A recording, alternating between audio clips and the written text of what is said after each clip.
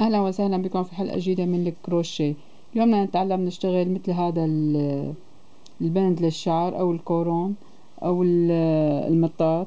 طريقته سهلة. هلا بعلمكم شلون تعملوا هدول الوردات الحلوين.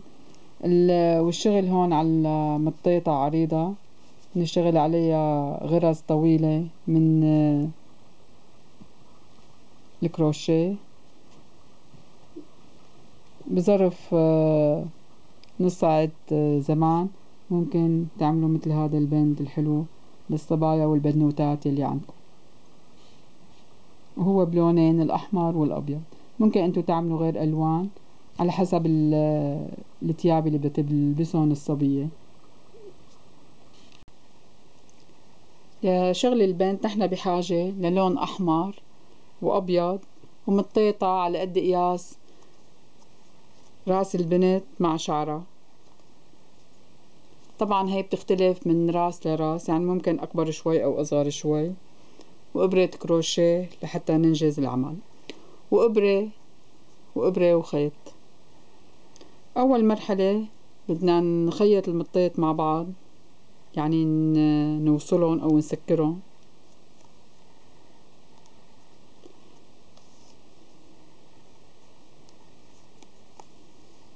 بدنا نشتغل باللون الأحمر على المطيطة هي.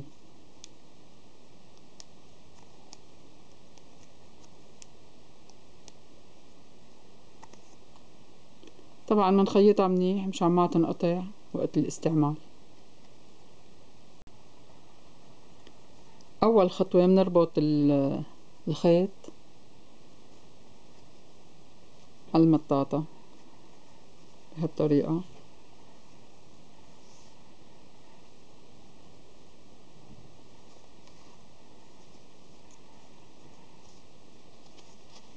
بدنا نشتغل. غرز طويلة.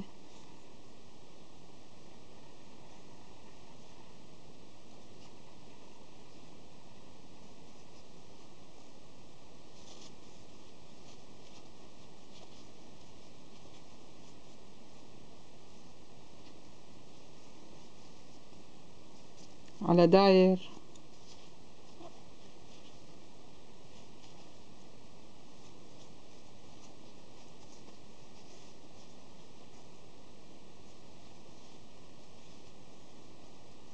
كل المطيطة بهالطريقة بدنا نشتغلها.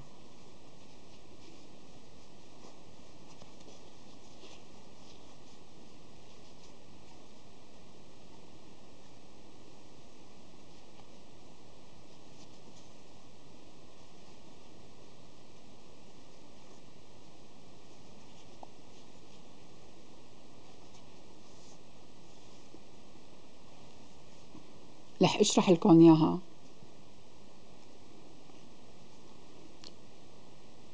بالحكي. مندخل منرجع المط... السنارة لقفا المطيطة ومناخد خيط نقربها لقدام على طول على عرض المطيطة منشد الخيط على قد المطيطة ومنعمل الغرزة. نرجع مننزل لتحت ناخد خيط منلف على السنارة منسحب.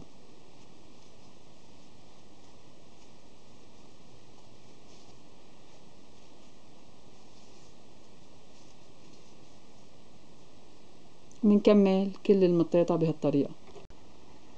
هلأ الخطوات الأخيرة بتغليف المطاط.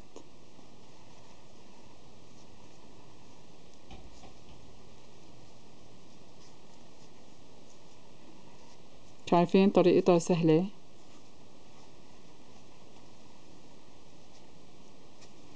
القسم الأخير إذا بدكم مو شرط تحطوا عليه صوف. يعني لأنه هو رح يجي تحت الشعر ما رح يبين.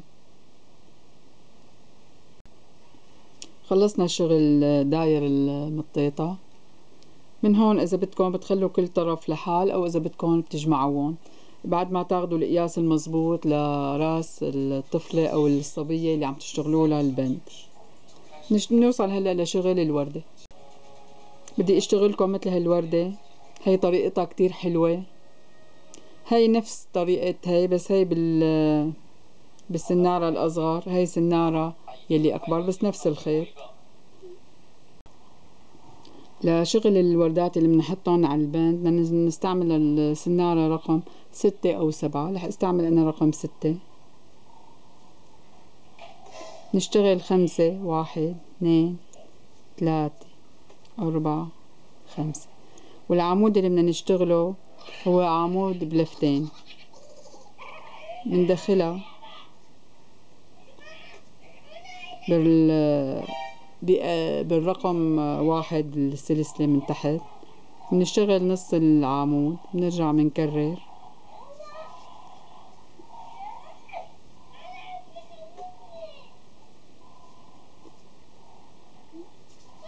عمود بلفتين نشتغل نصه. بصير عنا أربع غرز على السنارة نشتغلهم مع بعض ومنسكر.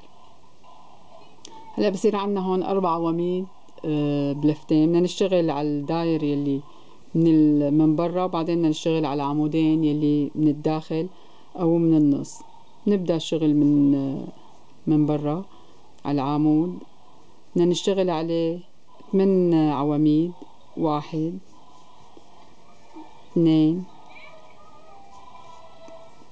ثلاثة أربعة خمسة ستة سبعة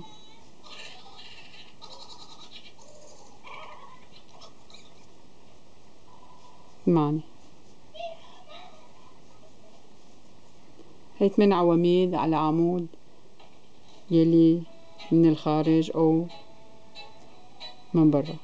هلأ عنا هدول العمودين يلي بالنص. نشتغل على العمود الخلفي يلي هو هاد. كمان بنرجع بنشتغل عليه ثمان عواميد. واحد اثنين ثلاثة أربعة. خمسة ستة سبعة ثمانية. ننتقل هلأ للشغل على العواميد يلي هون. نشتغل على هذا العمود.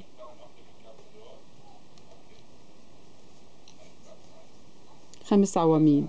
واحد اثنين ثلاثة أربعة خمسة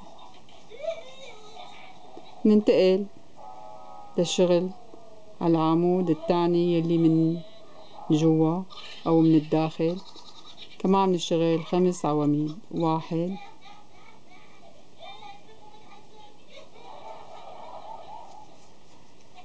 اثنين ثلاثة أربعة خمسة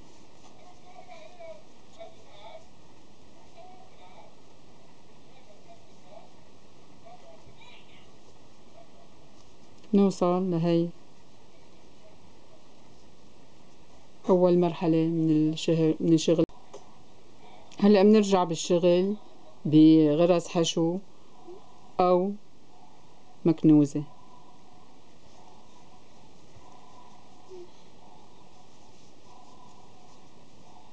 على كل الداير تبع هي الوردة اللي اشتغلناها.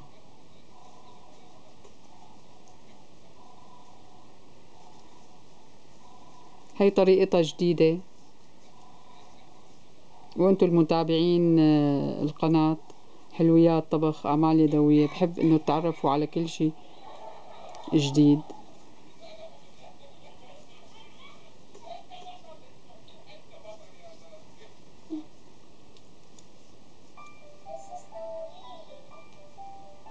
شايفين هلا رجعنا بالشغل. آخر أربعة غرز من هون بدنا نعمل لهم غير طريقة.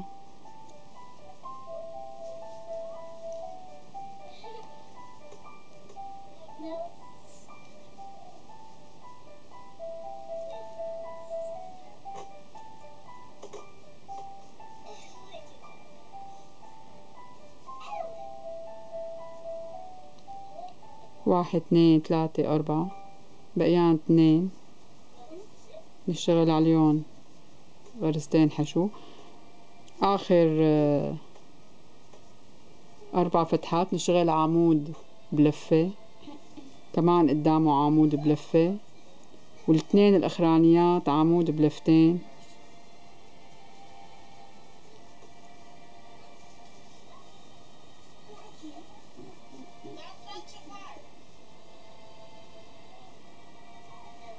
نحصل على هاي. الزهرة الحلوة.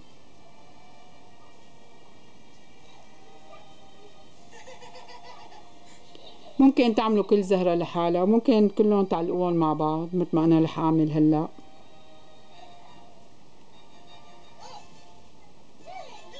نطلع بنرجع. واحد اثنين ثلاثة أربعة خمسة. نرجع بنعيد نفس الخطوات.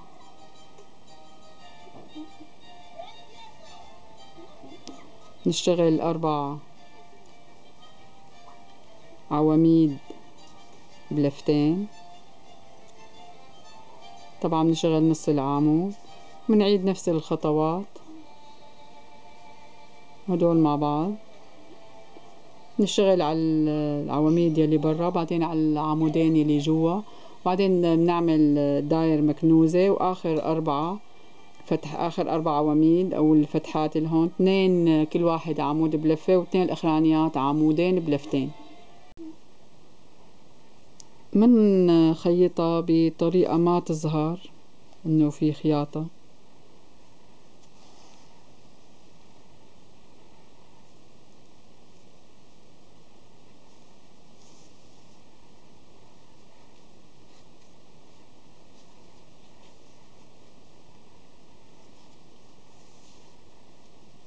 بس نخلص الزهرة أو الوردة اللي بالنص ننتقل للخياطة تبع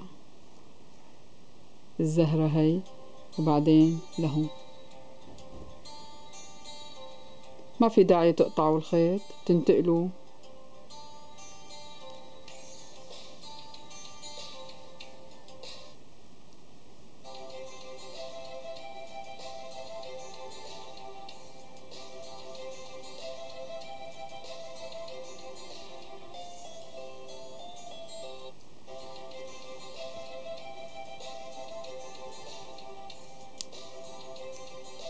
طبعا الخيط تبع النهاية. هذا مندخله بالشغل لحتى ما يعود يبين.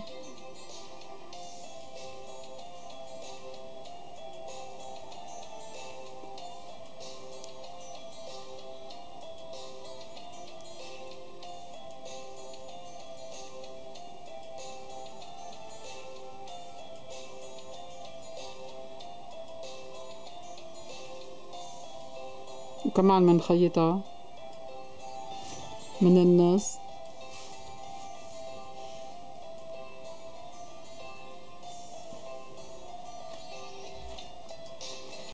من الزهرة بنمد الخيط للزهرة الثالثة اللي هي هون.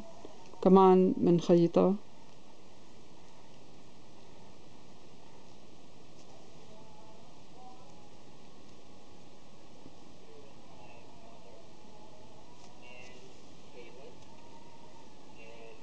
بتكملوا انتو الخياطة؟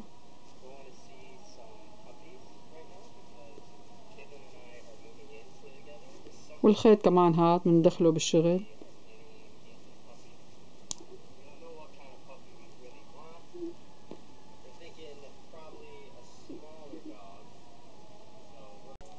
وممكن كمان آه، تخيطوها مع المطاط.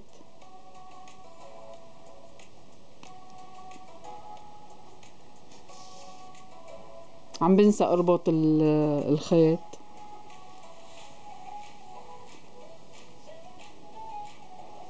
هلا أنا خيطت آه، أول وحدة مع المطاط. ممكن كمان تخيطوا هاي.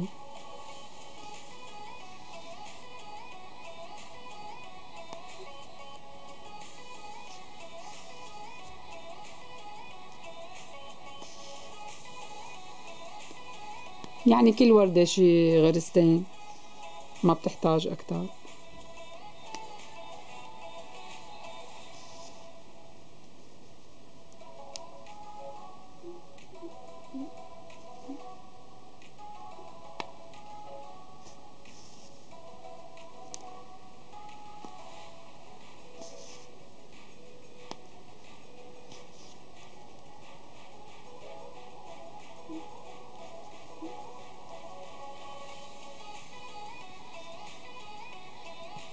تقطعوا الخيط.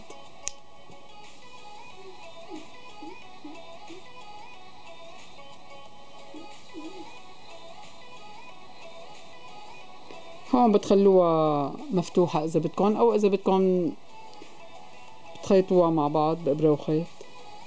بس يفضل إنه تضل مفتوحة.